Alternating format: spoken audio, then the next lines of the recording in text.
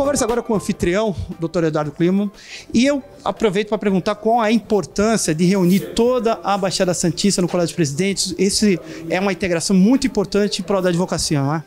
Muito, a conversa, o diálogo né, democrático é, é importantíssimo, porque acaba sendo decidido as coisas, o rumo da advocacia não fica na mãos de poucos, né? Eles, é, o rumo é decidido pelo colegiado, isso é importante pra caramba. E essa foi pergunta recorrente minha aqui para todos os presidentes, e com a mesma resposta com relação à descentralização, importância para os processos menores, é, essa descentralização, porque ela ganha uma autonomia muito maior. Né? Muito maior. E, e precisa dar essa, exatamente dessa autonomia, a, a, a financeira, administrativa, que a OAB hoje em dia subseções elas ficam mais engessadas, principalmente aquelas que não têm recurso próprio, né? E aí fica mais engessada. E a proposta da, da seccional hoje em dia já era de campanha e ao que parece eles já estão colocando em prática é essa, essa autonomia financeira e administrativa. Nós, como advogamos um tanto tempo já, é, sabemos a dificuldade e as transformações que estão acontecendo agora na advocacia. Como que São Vicente está se posicionando? Porque há muita mudança, inclusive tecnológica. Quais são os objetivos traçados aí pela sucessão de São Vicente? Olha, na verdade, a gente está trabalhando com, com, o que tem e se preparando em cursos e palestras, né? E capacitação do profissional.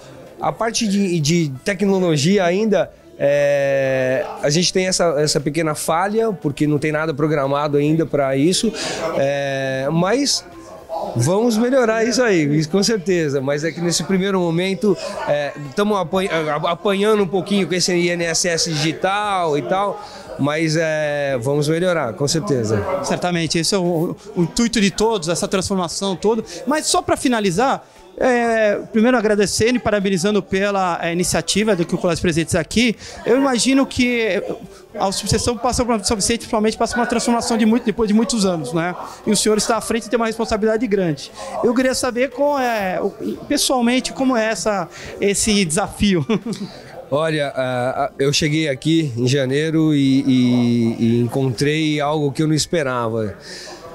Tivemos que reformular administrativamente, é, deslocar funcionários, é, trabalhar, trabalhamos os dois primeiros meses diariamente aqui e, e, e, o horário inteiro comercial. Agora as coisas parecem estão se caminhando e nós tiramos a, a, a OAB antes era fechada a subseção de São Vicente, a gente está abrindo a população em geral, o que é legal. É, hoje mesmo, enquanto tínhamos o Colégio de Presidentes aqui em cima, embaixo estava tendo um evento da Secretaria de, de Desenvolvimento e, e, Emprego da cidade, o que é fantástico.